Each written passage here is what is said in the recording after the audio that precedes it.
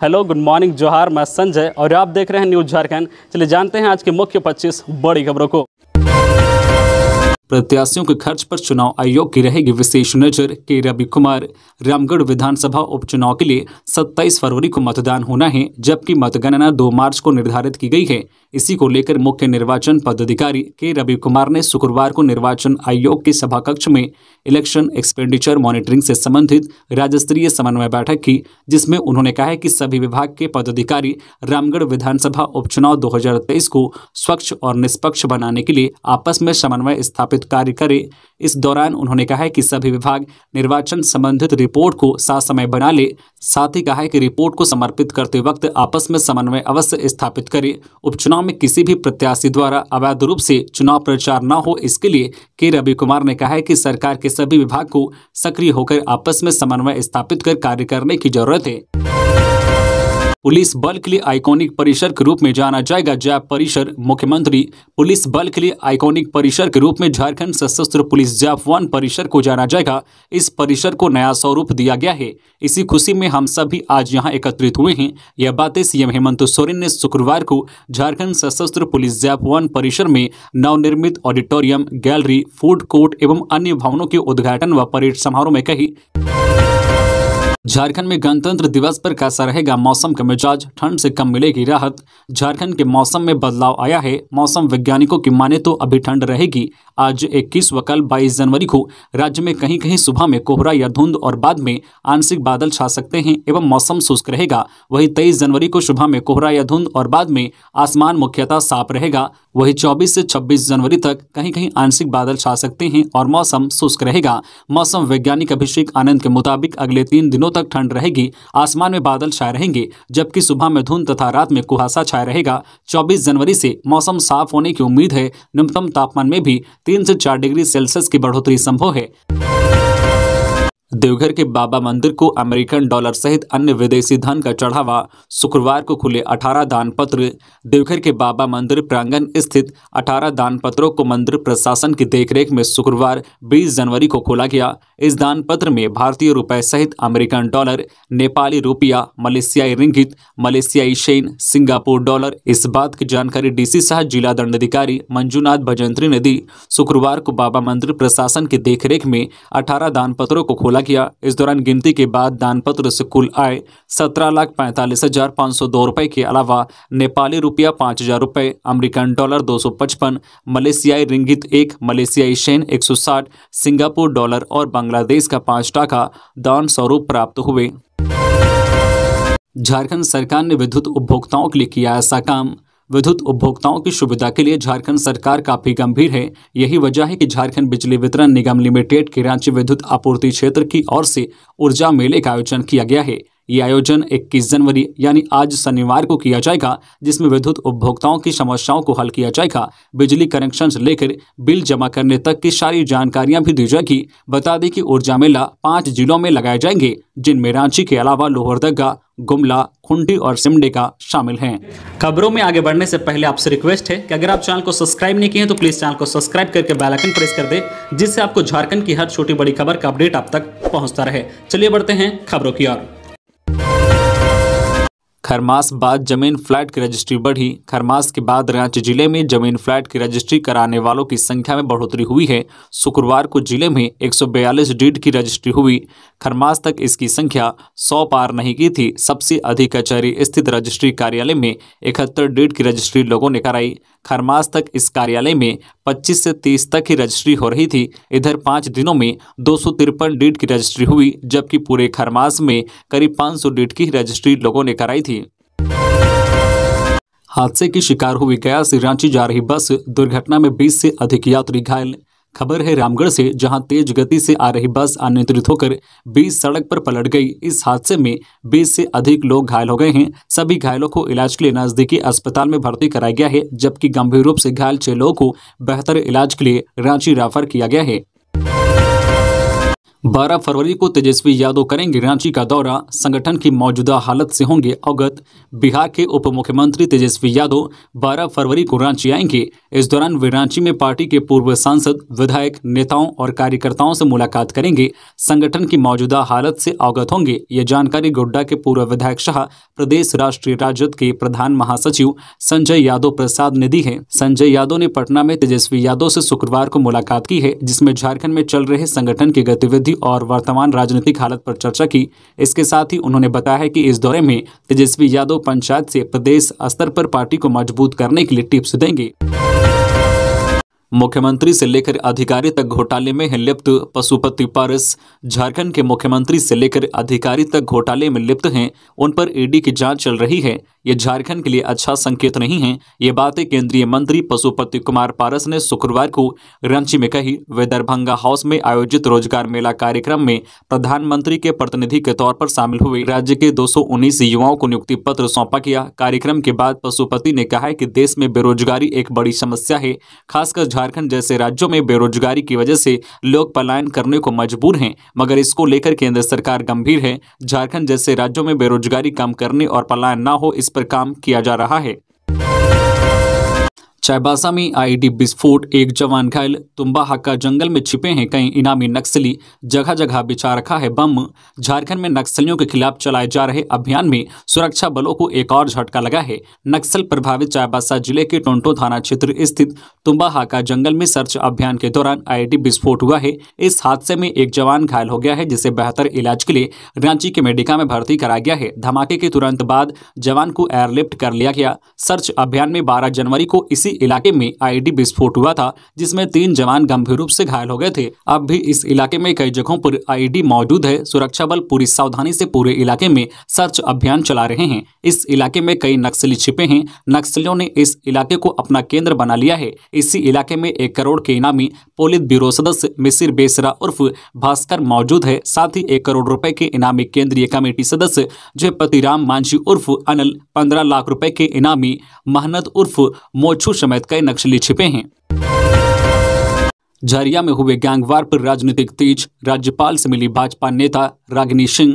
झरिया कांड पर की शिकायत, धनबाद के झरिया में दो गुटों में हुई गैंगवार को लेकर भाजपा प्रदेश कार्य समिति सदस्य श्रीमती रागिनी सिंह ने राज्य के महामहिम राज्यपाल रमेश बैस से धनबाद स्थित सर्किट हाउस में मुलाकात की है। उन्होंने कहा है कि झरिया में कांग्रेस के समर्थकों द्वारा गोलीबारी, बमबाजी की घटना को अंजाम दिया गया है। रागिनी सिंह ने कहा है कि पंद्रह दिन पूर्व झरिया विधायक पूर्णिमा नीरज सिंह देवर एकलव्य सिंह के द्वारा भाजपा समर्थक अविनाश सिंह पर गोली चलाने का मामला सामने आया था। भाजपा ने आरोप लगाया है कि एफआईआर दर्ज होने के बावजूद भी पुलिस द्वारा गिरफ्तारी नहीं हुई। उन्होंने कहा है कि सिंदरी डीएसपी के संरक्षण में बढ़ते हुए अपराध को लेकर उनके तबादले की मांग की है। राज्यपाल से मुलाकात के बाद इन सभी बातों का ज़िक्र किया और एक ज्ञापन सौंपा गया है। महामहिम राज्यपाल द्वारा धनबाद जिला प्रशासन को जल्द से जल्द मामले में उच्च स्तरीय कार्यवाही करते हुए आरोपियों की गिरफ्तारी का निर्देश दिया। चर्च कॉम्प्लेक्स के मारुति हाउस में लगी आग, मुश्किल से पाया गया काबू। राजधानी रांची के बीचों बीच स्थित चर्च कॉम्प्लेक्स में शुक्रवार को एक दुकान में फिर से आग लगने की घटना घटी है। मारुति हाउस नामक दुकान में आग लगते ही कॉम्प्लेक्स परिसर में अफरा तफरी मच गई। लोगों ने अपने स्तर से आग बुझाने का प्रयास करने लगे। इसी बीच अग्निशमन विभाग को भी आग लगने की सूचना दी गई। वही आग लगने की घटना को देखते हुए कॉम्प्लेक्स परिसर में लोग की भारी भीड़ जमा हो गई। आग कैसे लगी, इसका भी फ़िलहाल खुलासा नहीं हो पाया है। बताया जा रहा है की आग पर काबू पा लिया गया है। चर्च कॉम्प्लेक्स में आग लगने की यह तीन दिनों में दूसरी घटना घटी है। इससे पहले मंगलवार को बिग शॉप नामक प्रतिष्ठान में आग लग गई थी, जिसके कारण लाखों रुपए के ब्रांडेड कपड़े सहित अन्य सामान जलकर राख हो गए थे। तेईस और 24 जनवरी को देवघर में प्रदेश कार्य समिति की होगी बैठक। हेमंत सरकार के खिलाफ आंदोलन की रूपरेखा होगी तय। विश्व पटल पर भारत की साख लगातार बढ़ रही है। एक साल में जी ट्वेंटी संयुक्त राष्ट्र सुरक्षा परिषद और संघाई संयोग संगठन की अध्यक्षता मिलना बताता है कि भारत ने प्रधानमंत्री नरेंद्र मोदी की कुशल नेतृत्व में अपनी ताकत का लोहा पूरी दुनिया को मनवा दिया है। ये बातें भाजपा प्रदेश अध्यक्ष सांसद दीपक प्रकाश ने शुक्रवार को प्रदेश कार्यालय में प्रेस वार्ता के दौरान कही। इस दौरान उन्होंने नई दिल्ली में विगत सोलह एवं सत्रह जनवरी को पार्टी की दो दिवसीय राष्ट्रीय कार्य समिति बैठक में पारित राजनीतिक प्रस्तावों और संकल्पों पर प्रकाश डाला।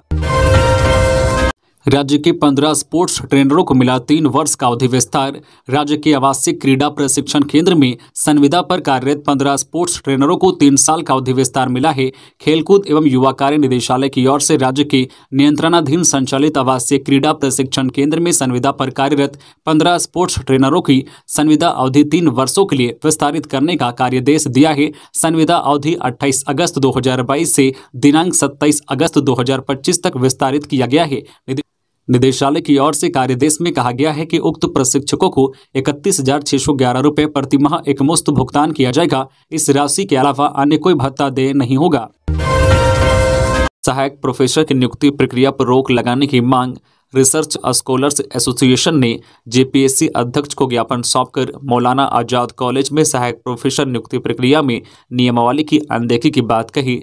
संघ ने कहा है कि कॉलेज की अपनी एक प्रबंधन कमेटी है। कमेटी द्वारा कुछ चुनिंदा लोगों को लाभ पहुँचाने के उद्देश्य से यूजीसी नियुक्ति नियमावली 2018 की अवहेलना कर सहायक प्रोफेसर पद पर नियुक्ति प्रक्रिया की जा रही है। प्रबंधन ने विज्ञापन निकालकर पाँच सौ की डिमांड ड्राफ्ट के साथ अभ्यर्थियों से आवेदन मंगाए। अधिक संख्या में अभ्यर्थियों ने आवेदन जमा किए, लेकिन उन आवेदनों के आलोक में किसी भी अभ्यर्थी को साक्षात्कार के लिए नहीं बुलाया गया और न ही कोई सूचना दी गई। संघ ने तत्काल नियुक्ति प्रक्रिया पर रोक लगाने की मांग अध्यक्ष की है। साथ ही पूर्व की आवेदनों को शामिल करते हुए नए सिरे से विज्ञापन निकालने और यूजीसी नियमावली 2018 के अनुसार नियुक्ति प्रक्रिया कराने की मांग की है। आपस में भिड़े दो पुलिस के जवान। शराब के नशे में था एक जवान। विवाद इतना बढ़ा कि चला दी गोली। दोनों सस्पेंड। दो पुलिस के जवान आपस में भिड़ गए। बात हाथापाई से आगे बढ़कर गोलीबारी तक पहुँच गई। दोनों की किस्मत अच्छी रही कि किसी को गोली नहीं लगी। घटना पलामू जिला मुख्यालय स्थित मेदिनीनगर पुलिस लाइन की है। शुक्रवार को पुलिस के दो जवान आपस में भिड़ गए, जिसमें से एक जवान ने गुस्से में दूसरे जवान को जान से मारने के लिए अपनी बंदूक से गोली चला दिया। जवान की किस्मत ठीक रही कि गोली उसे नहीं लगी। पुलिस लाइन में फायरिंग से पूरे पुलिस महकमे में सनसनी फैल गई। घटना में शामिल दोनों जवानों पर विभागीय कार्रवाई शुरू कर दी गई है। उन्हें निलंबित कर दिया गया है। घटना सुबह दस बजे हुई है। बीजेपी प्रदेश अध्यक्ष दीपक प्रकाश ने एमपी, एमएलए कोर्ट में किया सरेंडर, कोर्ट ने दी जमानत। भाजपा के प्रदेश अध्यक्ष और राज्यसभा सांसद दीपक प्रकाश को रांची सिविल कोर्ट से बड़ी राहत मिली है। कांके थाना में दर्ज कांड संख्या 141 2021 में रांची एमपी, एमएलए की स्पेशल कोर्ट ने उन्हें सरेंडर के बाद जमानत दे दी है। कांके के सुकुर हुरटू इलाके में किसान आंदोलन के दौरान भाजपा प्रदेश अध्यक्ष दीपक प्रकाश और कांके विधायक समरी लाल के खिलाफ प्राथमिकी दर्ज की गई थी। दीपक प्रकाश के अधिवक्ता सुधीर श्रीवास्तव के मुताबिक सांसद ने अदालत के समक्ष सरेंडर किया, जिसके बाद कोर्ट ने उन्हें जमानत की सुविधा प्रदान कर दी है। कांके विधायक समरी लाल को इस मामले में पहले ही बेल मिल चुकी है। आदमखोर तेंदुआ को पकड़ने के लिए संजय टाइगर रिज़र्व से मांगी गई सहायता 48 घंटे में गढ़वा पहुंचेगी एक्सपर्ट की टीम। आदमखोर तेंदुआ को पकड़ने के लिए वन विभाग ने मध्य प्रदेश के संजय टाइगर रिज़र्व से मदद मांगी है। संजय टाइगर रिज़र्व मध्य प्रदेश के शिंगरौली, सिद्धि और ओरिया सीमा से लगा हुआ है। गढ़वा वन विभाग की टीम ने मामले में संजय टाइगर रिज़र्व के अधिकारियों से मदद मांगी है। यह टीम अगले अड़तालीस घंटे के अंदर इलाके में पहुँच जाएगी। पलामू टाइगर रिज़र्व के निदेशक शाह आरसीसीएफ कुमार आशुतोष ने बताया कि संजय टाइगर रिज़र्व की टीम ने हाल में ही तीन तेंदुआ को रेस्क्यू किया है। सभी तेंदुआ को केज के माध्यम से रेस्क्यू किया गया है। इसी को ध्यान में रखकर विभाग ने संजय टाइगर रिज़र्व से एक्सपर्ट की टीम को बुलाया है। हेमंत सरकार ने भ्रष्टाचार की ऐसी घी निकाली, जिसे खाने वाले पछता रहे बाबूलाल मरांडी। बीजेपी विधायक दल के नेता बाबूलाल मरांडी ने भ्रष्टाचार को लेकर मौजूदा राज्य सरकार पर ट्वीट कर निशाना साधा है। उन्होंने कहा है कि मुख्यमंत्री हेमंत सोरेन ने दो वर्षों में भ्रष्टाचार की घी निकाली है। बालू, पत्थर और कोयला के बाद झारखंड में अब शुद्ध घी की भी चर्चा होने लगी है, जिसे खाने वाले अब पछता रहे हैं। इस संबंध में मरांडी ने शुक्रवार को ट्वीट कर कहा है की अब तक सुना था की घी सिर्फ़ दूध से निकलता है, लेकिन हेमंत सोरेन जी ने दो सालों में पत्थर, बालू, कोयला, ज़मीन, शराब, ट्रांसफ़र पोस्टिंग से ऐसी घी निकाला है कि इसे खाने पचाने वाले किरदारों की जेल के नाम से ही तबियत बिगड़ जा रही है। तीन हज़ार फुटपाथ दुकानदारों ने घेरा निगम कार्यालय वेंडिंग जोन की मांग पर अड़े। हजारीबाग शहर के 3000 फुटपाथ दुकानदारों ने शुक्रवार को नगर निगम कार्यालय का घेराव कर जमकर बवाल काटा। गरीब फुटपाथ दुकानदार संघ के बैनर तले हजारीबाग मेडिकल कॉलेज अस्पताल के सामने फुटपाथ दुकानदार जमा हो गए और जुलूस की शक्ल में हजारीबाग नगर निगम कार्यालय पहुँचे। आक्रोशित फुटपाथ दुकानदारों ने निगम कार्यालय का घेराव कर अपनी आवाज़ बुलंद की। फुटपाथ दुकानदारों ने कहा है कि वर्षों से उनके पूर्वज हजारीबाग शहर की सड़कों के किनारे दुकान लगाते आ रहे हैं। नगर पालिका से हजारीबाग नगर निगम में तब्दील हो गया, लेकिन फुटपाथ व्यवसायियों के लिए वेंडिंग जोन की व्यवस्था नहीं की गई। जब भी जिला प्रशासन और नगर निगम को सड़क जाम नज़र आती है तो फुटपाथ दुकानदारों पर अपना बुलडोजर चला देते हैं। यही नहीं, सड़क किनारे दुकान लगाने पर पुलिस के जवान भी उन लोगों के साथ गलत व्यवहार करते हैं। कई बार तो उन लोगों के सामान सड़क पर फेंक दिए जाते हैं। इस कारण उन लोगों को आर्थिक नुकसान का भी सामना करना पड़ता है। उन लोगों ने अपनी फरियाद कई बार वरीय पदाधिकारियों के पास लगाई, लेकिन उन लोगों के लिए वेंडिंग जोन नहीं बना गया। फुटपाथ व्यवसायियों को सिर्फ़ सपना दिखाया जाता है कि जल्द ही वेंडिंग जोन दिया जाएगा। अब स्कूटी पर चोरों की नज़र, पलामू में दो चोर गिरफ़्तार। चोरी के बाद सड़क दुर्घटना में हुए घायल, मरहम पट्टी कराकर दूसरे दिन भी की चोरी। हीरो होंडा की गाड़ियों के बाद अब चोरों की नज़र स्कूटी पर भी है। हीरो की बाइक की डिमांड ज़्यादा होती है, इसके पार्ट्स बेचने के लिए भी चोरों का बाज़ार आसानी से मिल जाता है। अब स्कूटी पर चोर हाथ साफ़ कर रहे हैं। चोरों का एक ऐसा ही गिरोह पकड़ा गया है। पलामू के शहर थाना क्षेत्र में दो दिनों में दो स्कूटी चुराने वाले दो चोरों को गिरफ़्तार किया है। हैरानी की बात यह है कि एक स्कूटी चोरी करने के बाद सड़क दुर्घटना में दोनों घायल हो गए थे। अस्पताल से बैंडेज पट्टी कराने के बाद भी अगले दिन दूसरे स्कूटी की चोरी कर ली। सदर एस ऋषभ गर्ग ने शुक्रवार को प्रेस कॉन्फ्रेंस में बताया कि गिरफ़्तार चोरों के निशानदेह पर दो स्कूटी बरामद किया गया है। अड़सठ यात्रियों से भरी बस का ब्रेक फेल। ड्राइवर की सूझबूझ से बची सबकी जान। ब्रेक फेल होने के बाद आधे किलोमीटर दूर जाकर रुकी बस। बोकारो के फुसरों में अड़सठ यात्रियों को लेकर तीर्थ यात्रा पर निकली बस दुर्घटनाग्रस्त हो गई। उत्तर प्रदेश के आगरा से पाँच जनवरी को तीर्थ यात्रा पर निकले सत्तर यात्रियों से भरी टूरिस्ट बस बोकारो जिला के फुसरो डुमरी मार्ग में चपरी ढलान के पास दुर्घटनाग्रस्त हुई। सभी यात्री जनकपुरी से निकले थे और वैद्यनाथ धाम जा रहे थे। इस हादसे में गाड़ी पूरी तरह क्षतिग्रस्त हो गई है, लेकिन किसी को गंभीर चोट नहीं आई है। गाड़ी के दुर्घटनाग्रस्त होने के बाद सभी यात्री सुरक्षित बाहर निकले और अपना अपना सामान उठाकर एक जगह पर रखने लगे। बस के ड्राइवर ने बताया कि अचानक ब्रेक फेल हो जाने की वजह से यह हादसा हुआ है। ड्राइवर ने बस रोकने की पूरी कोशिश की। ड्राइवर अर्जुन तोमर ने लगभग आधा किलोमीटर बाद विनोद बिहारी चौक में टक्कर मार दी। टक्कर मारकर बस को दूसरे दिशा में मोड़ते हुए मकोली कॉलोनी की ओर ले गया, जहाँ एक चढ़ाई से बस पीछे लुढ़क कर सीआरपीएफ के बाउंड्री में टक्कर मारकर रुक गया। बस के चालक की सूझबूझ से बस में सवार सभी सत्तर यात्रियों की जान बच गई। म्यूटेशन लंबित रहने पर डीसी हुए नाराज़। इन अंचलों के अफसरों से पूछा कारण, जो भी आवेदन हल्का कर्मचारी के पास लंबित हैं, फ़ील्ड विज़िट कर उसका निष्पादन तुरंत करे। ये आदेश मुख्यमंत्री सुखाड़ राहत योजना की समीक्षा बैठक में उपायुक्त राहुल कुमार सिन्हा कर्मचारियों को दी।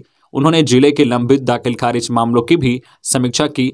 तीस और नब्बे दिनों के लंबित म्यूटेशन के मामलों के निष्पादन में तेज़ी लाने का निर्देश दिया। उपायुक्त ने अरगोड़ा कांकेसहर नगड़ी और बड़गाई अंचल अधिकारियों को ज़्यादा मामले लंबित होने पर कारण पूछा। कर्मचारियों को निर्देश दिया और कहा है कि जल्द से जल्द इसका निष्पादन करें। तो ये थी आज की झारखंड की टॉप बड़ी खबरें। इसी तरह झारखंड की हर छोटी बड़ी खबर देखने के लिए आप हमारे चैनल न्यूज़ झारखंड चैनल को सब्सक्राइब करके बेल आइकन प्रेस कर दीजिए, जिससे आपको झारखंड की हर छोटी बड़ी खबर का अपडेट आप तक पहुँचता रहे। तो आज के लिए बस इतना ही। हमें दीजिए इजाज़त। फिर मिलते हैं नेक्स्ट न्यूज़ में।